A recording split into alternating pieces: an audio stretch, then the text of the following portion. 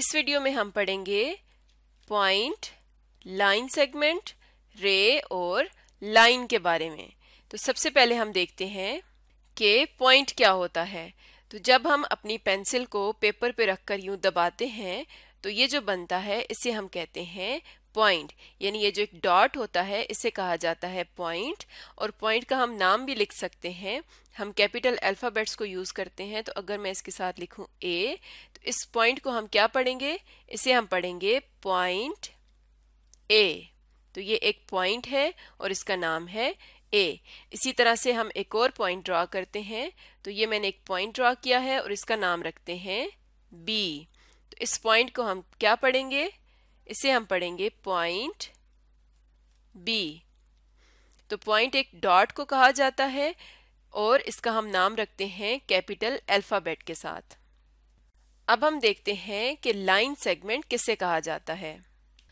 अगर हमारे पास दो पॉइंट्स हों, एक पॉइंट ए और एक पॉइंट बी तो पॉइंट ए से बी तक का ये जो डिस्टेंस है, दरमियान में जो लाइन ड्रॉ होती है, इसे कहा जाता है लाइन सेगमेंट तो ये क्या है?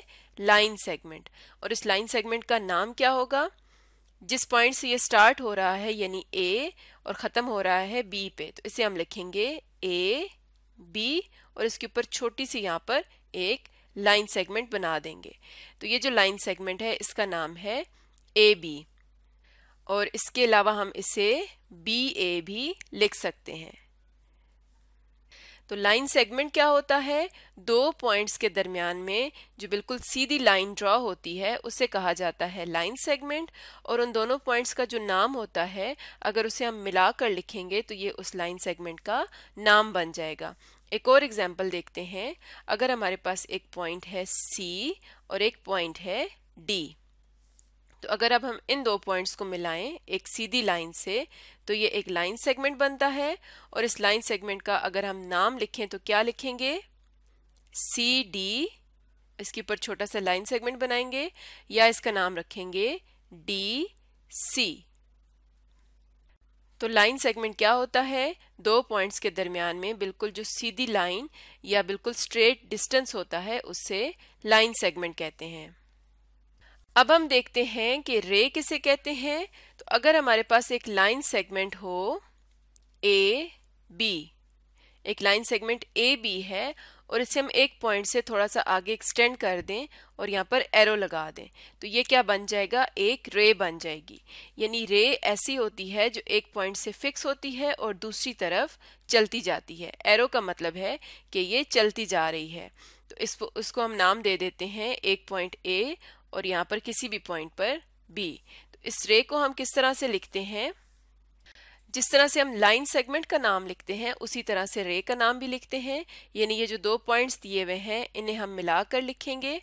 लेकिन इसके ऊपर अब हम छोटी सी रे बनाएँगे इस तरह से। तो ये शो करता है रे ए बी को। अब हमने एक चीज़ का ख्याल रखना है कि इसको हम बी ए नहीं लिख सकते, क्योंकि जो एरो है वो बी के ऊपर है। तो जब नाम लिखेंगे तो बी के ऊपर एरो आना चाहिए। इसी तरह से अगर हम एक रे ड्रॉ करना चाहें, जिसका नाम हो बी ए तो किस तरह से करेंगे? हम यहाँ पर एक पॉइंट लेंगे बी और ए की तरफ़ हम एरो लेके जाएँगे। यहाँ पर हम लेंगे ए तो ये रे होगी बी ए तो रे क्या होती है? जो एक पॉइंट पर फिक्स होती है और दूसरे पॉइंट पर आगे चलती जाएगी। उसे हम कहेंगे रे तो अब हम देखते हैं कि लाइन किसे कहते हैं। तो उसी तरह से अगर हमारे पास एक लाइन सेगमेंट हो ए बी और अब अगर हम इसे दोनों तरफ़ से एक्सटेंड कर दें ए से बी और बी से भी तो ये क्या बन जाएगी? एक लाइन तो लाइन क्या होती है जो दोनों तरफ़ से चलती जाती है? इसका कोई भी स्टार्टिंग पॉइंट या एंडिंग पॉइंट नहीं होता। इसका नाम हम किस तरह से लिखेंगे? हम इस पर कोई भी दो पॉइंट्स लेते हैं, जैसे ए और बी है तो इसका नाम लिखेंगे ए बी और इसके ऊपर छोटी सी इस तरह से हम लाइन बना देंगे। और जैसा कि ये दोनों तरफ़ से चलती जा रही है तो इसको हम बी ए भी लिख सकते हैं। तो ए बी और बी ए एक ही लाइन के दो नाम हो सकते हैं। एक और एग्ज़ाम्पल लेते हैं। अगर हमारे पास हो सी डी और यहाँ से इन दो पॉइंट से एक लाइन गुजर रही हो, इसका नाम क्या होगा? सी डी या डी सी तो ये एक लाइन है सी डी या डी सी तो लाइन क्या होती है? जो दोनों तरफ़ से चलती जा रही है, इसका कोई भी स्टार्टिंग पॉइंट या एंडिंग पॉइंट नहीं होता। तो पॉइंट क्या होता है? एक डॉट को हम पॉइंट कहते हैं और इसका नाम हम लिख सकते हैं। जैसे हम इस पॉइंट को नाम दे देते हैं ए और इसे हम पढ़ेंगे पॉइंट ए लाइन सेगमेंट किसे कहते हैं? दो पॉइंट्स अगर हों ए और बी तो इनके दरमियान अगर सीधी लाइन ड्रॉ की जाए तो उसे कहा जाता है। लाइन सेगमेंट इसका स्टार्टिंग पॉइंट ए और एंडिंग पॉइंट बी होगा, या अगर स्टार्टिंग पॉइंट बी होगा तो एंडिंग पॉइंट ए होगा। और इसका अगर हम नाम लिखें तो कैसे लिखेंगे? ए बी या बी ए रे किसे कहते हैं? रे एक फिक्स पॉइंट से स्टार्ट होती है और आगे चलती जाती है। और इसका भी हम नाम लिख सकते हैं ए और यहाँ पर कोई भी पॉइंट ले लें बी तो इसे हम कहेंगे ए बी और इसके ऊपर छोटी सी रे बनाएँगे। और लाइन किसे कहते हैं?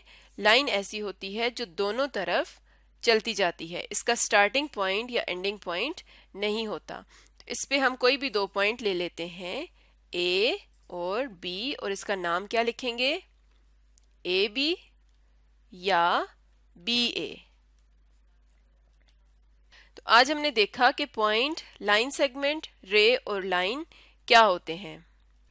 अब हम एक एक्सरसाइज देखते हैं तो क्वेश्चन है हमारे पास fill in the blanks for given figure हमें यहाँ पर फिगर में लाइन लाइन सेगमेंट वगैरह दिए हुए हैं और हमने इनको देखते हुए ब्लैंक्स को फिल करना है। तो सबसे पहले है A B is a dash तो ए बी कहाँ पर है? यहाँ पर। और ए बी क्या है? इसके दोनों पॉइंट्स फिक्स हैं, यानी ये एक पॉइंट से स्टार्ट होकर दूसरे पे ख़त्म हो रही है तो ये क्या है? ये एक लाइन सेगमेंट है। ए बी क्या है? एक लाइन सेगमेंट है। नेक्स्ट है द लाइन इज़ डैश तो हमने देखना है कि इनमें से लाइन कौन सी है? लाइन वो होती है जो दोनों तरफ़ चलती जाती है, यानी जिसके दोनों तरफ़ एरो लगे होंगे। तो यहाँ पर सी डी के दोनों तरफ़ एरो लगे हुए हैं तो हम क्या लिखेंगे? Line is C D next है D is called a dash तो यहाँ पर डी क्या है? ये डी है तो डी क्या है? एक पॉइंट है। हम लिखेंगे D is called a point next है X Y is a dash तो एक्स वाई क्या है? एक फिक्स पॉइंट से स्टार्ट हो रही है और वाई पर ये एरो लगा हुआ है मतलब ये आगे चलती जा रही है। तो इसे हम क्या कहेंगे? ये एक रे है। एक्स वाई इज़ आ रे तो आज हमने देखा कि पॉइंट लाइन सेगमेंट रे और लाइन क्या होते हैं?